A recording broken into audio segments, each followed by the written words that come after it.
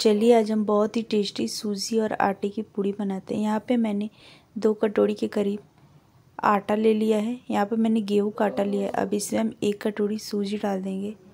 अब अब हम इसमें दो चम्मच चिली फ्लेक्स डालेंगे। फ्रेंड्स अगर आपके पास चिली फ्लेक्स नहीं हो तो आप खड़ी वाली जो चिली आती है, उसको आप खलबट्टे में कूट कर चिली फ्लेक्स घर पे ही बना सकते हैं। अब इसमें हम टेस्ट के अनुसार नमक डाल देंगे। उसे हमें थोड़े से गरम कर लेना है देन उसके बाद उसे हमें खलबट्टे में कूच अब इसमें हम थोड़ा सा अजवाइन डालेंगे। फ्रेंड्स, आप यहाँ पे जीरा भी डाल सकते हैं। इस पर हम एक चम्मच अजवाइन डालेंगे। और आप चाहें तो यहाँ पे ऑयल भी डाल सकते हैं। देखिए, हमने बहुत ही अच्छा ये आटा को गूँथ लिया है। देखिए, हमें ऐसे आटे को एकदम अच्छे तरीके से सॉफ्ट गूँथ लेना है। यहाँ पे मैंने एक कढ़ाई लिया है, अब हम कढ़ाई को गर्म होने के लिए रख देंगे। इससे मैं रिफाइन का तेल डाल रही हूँ। आप कोई भी कुकिंग ऑयल ले सकते हैं। आप यहाँ पर मूंगफली का तेल या फिर सरसों का तेल कुछ भी ले सकते हैं। उसमें भी आप फ्राई कर सकते पूड़ी को।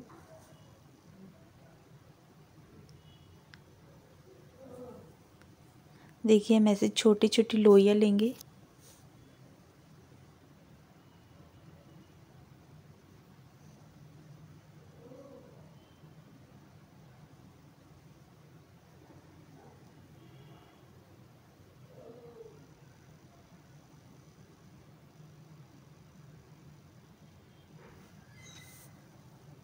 देखिए हमें ऐसे छोटी छोटी लोइयाँ ले लेनी है और इसे छोटे छोटे हमें पूड़ी बेल लेना है। फ्रेंड्स, आप जितना छोटा छोटा पूड़ी बेलेंगे, देखिए हम पूड़ियों को अच्छी तरीके से बेल लेंगे।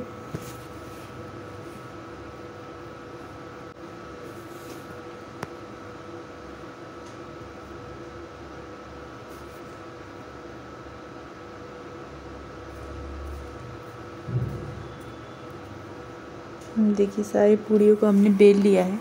अब यहाँ पे मैंने एक कढ़ाई को गर्म होने के लिए डाल दिया। इसमें फ्रेंड्स हम छोटी सी एक लोई डालेंगे। देख लेंगे कि हमारी पूड़िया मतलब तेल अच्छे तरीके से गर्म हुए कि नहीं। हमारा तेल अच्छे तरीके से गर्म हो गया। अब इसमें हम पूड़िया डाल देंगे। देखिए ऐसे हमें इसे किनारे किनारे से पूड़ियों को डालना है हमें। थोड़ा मेरा तेल ज़्यादा गर्म हो गया तो यहाँ पे मैं गैस का फ्लेम स्लो कर दूँगी मतलब मीडियम कर दूँगी।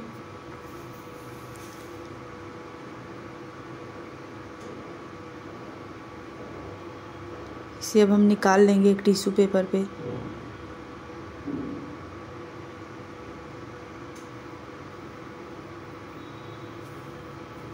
ऐसे ही करके हम अपने और पूड़ियों को फ्राई कर लेंगे। देखिए, अभी हमने गैस के फ्लेम को मीडियम रखा हुआ है। फ्रेंड्स आप देख सकते हैं कि हमारी पूड़ियाँ कितनी अच्छे तरीके से फूल रही हैं क्योंकि हमने इसे एकदम एक ही शेप में बेला है। हमें पूड़ियाँ अगर आपकी पूड़ियाँ छो, हम छोटे छोटे बेलेंगे तो पूड़ियाँ बहुत ही अच्छी तरीके से फूलती हैं। और देखने में भी बहुत सुंदर दिखती हैं। देखिए।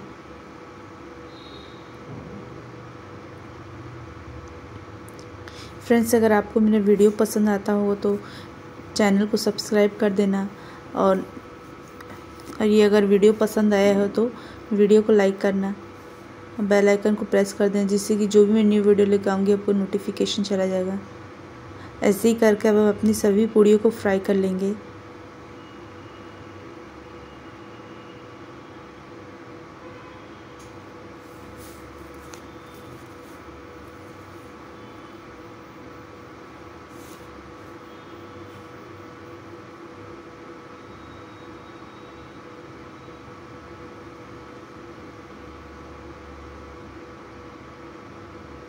फ्रेंड्स, अगर आप चाहें तो आज हम गेहूँ के आटे की और सूजी की पूड़ी बना रहे हैं।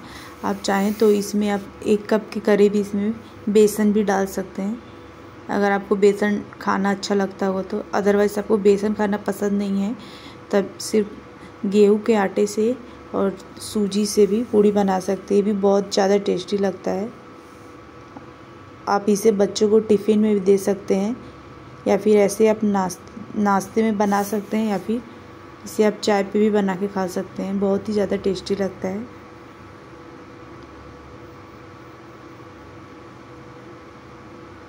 देखिए, हम एक एक करके अच्छे तरीके से अपनी पूड़ियों को फ्राई कर ले रहे हैं। फ्रेंड्स, आप देख सकते हैं कि हमारी पूड़ियाँ एक भी फट नहीं रही है और ना ही हमारी कोई पूड़िया, ऐसा नहीं कि नहीं फूली, हमारी सारी पूड़ियाँ फूली हुई है। क्योंकि हमने आटा को गूँथ लिया और इसे रेस्ट करने के लिए हमने पाँच मिनट के लिए रख दिया। फ्रेंड्स आप कोई भी अगर पूड़ी को बना रहे हैं तो आटा को गूँथ के उसे पाँच मिनट के रेस्ट करने के लिए रख दें। तो हमारी पूड़ियाँ बहुत ही अच्छी फूली फूली बनती हैं।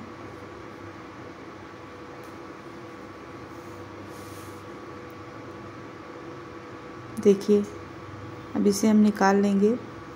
इसे हमें गोल्डन ब्राउन होने तक ही फ्राई करना है।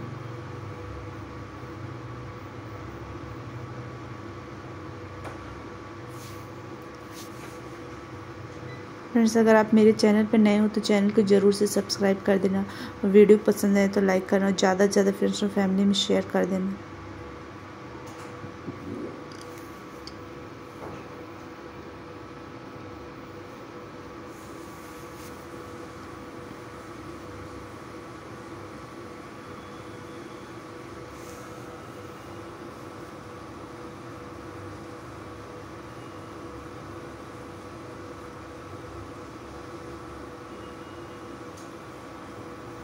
ये थोड़ा मैं पूरी साइज़ में बड़ा था, इसलिए मैंने इसे एक ही फ्राई किया, जिससे कि बहुत ही बढ़िया तरीके से फ्राई हो जाए।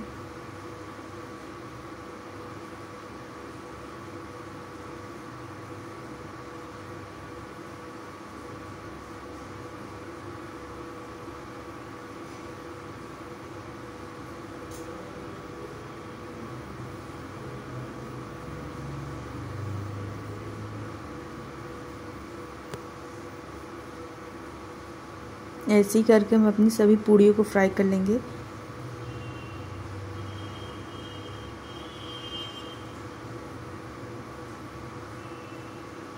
देखिए फ्रेंड्स मैंने इतनी कम तेल में इतनी सारी पूड़ियाँ बना ली। अगर आप छोटी छोटी पूड़ियों को बेलते हैं तो कम तेल में भी अच्छी तरीके से आप पूड़ियाँ फूल जाती हैं, बन भी जाती हैं अच्छी तरीके से।